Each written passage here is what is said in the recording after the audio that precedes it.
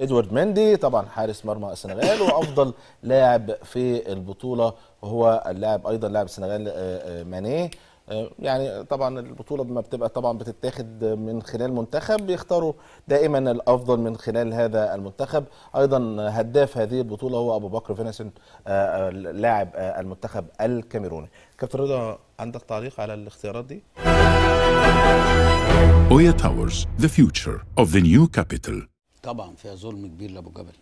أحسن حارس مرمى بلا منازع أبو جبل.